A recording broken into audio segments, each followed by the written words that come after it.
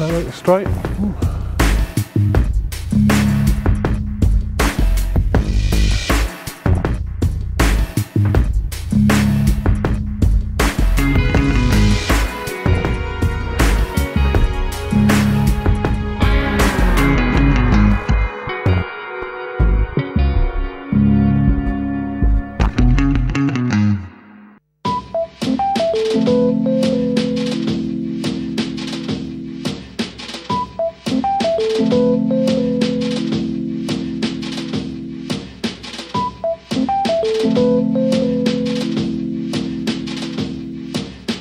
This is the way I see London. When I studied photography, one of the things that I was told is you have to find your own point of view.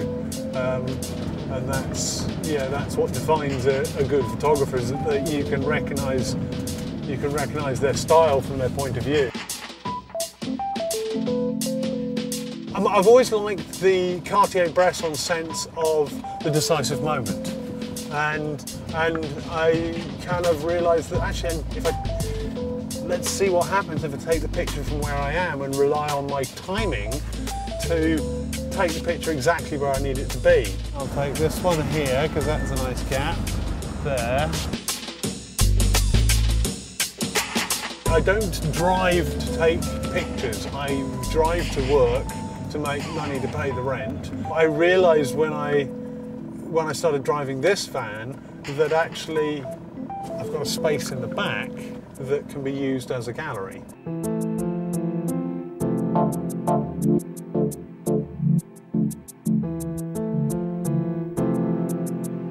What I do is I drive up and park outside people's galleries when they have private views. They invite an audience, and so I hitchhike that audience. I literally will park as close as I can get to them and hope to get the passing trade. And it's kind of like I put myself out there so that I can have an art career rather than a van driving career.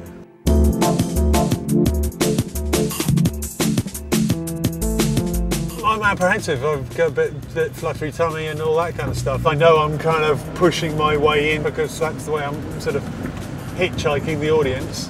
I don't want to offend anybody and I don't want to get in anybody's way. I don't like the hustle. It's like the point of hitchhiking is you stick out your thumb and hope that people will notice you.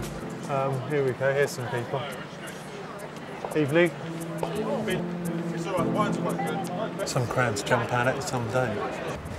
I have to deal with it. I'm getting thick, thicker skinned and I've, I've learned not to to sort of worry about the reaction or worry about the fact that people don't necessarily want to look at it. It depends on the geography of the, of the gallery actually. This is central London so it's a slightly smarter set but if you head out to East London they're much more open to new, you know, to new ideas or different ways of showing art.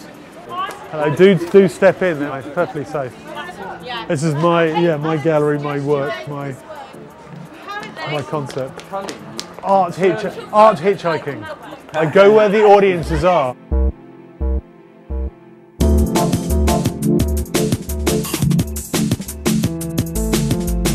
This is Vyner Street. Apparently there are 13 or 14 galleries along here.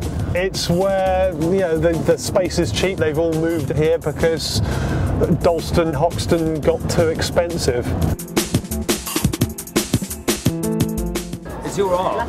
Yes. Right. And this is my, you know, my my whole piece. You know, the, the photographs are taken from the van. I show them in the back, and you know, it's kind of like, to say it's a grand portfolio to get the artwork elsewhere. Right. What I'd love to do is find a gallery that I can park this in the middle of. Oh. You know, inside a gallery.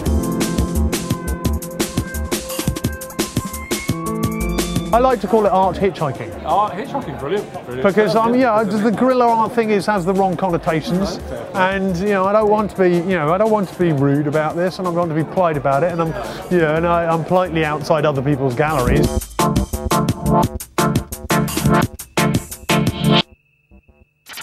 I kind of knew there would be a whole buzz of people there tonight, which is good and who knows what will come out of it now.